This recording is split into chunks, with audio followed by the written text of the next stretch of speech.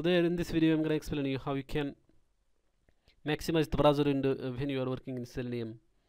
So for that what you have to do is you have to use one method called as uh, driver.manage.window.maximize and then it will uh, open the browser in maximized mode.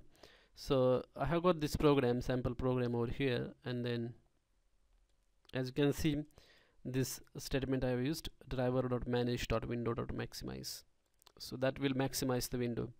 So if I just uh, launch this program you can notice that the browser window is open in maximized mode. And uh, you need to notice one thing that uh, that maximize method works in all the browsers except uh, if you are working on the Android uh, applications android mobile applications that particular method will not work. So remember that you don't use that method when you are working on android automation but for other browsers it, it works perfectly fine. So as you can see this browser window is maximized.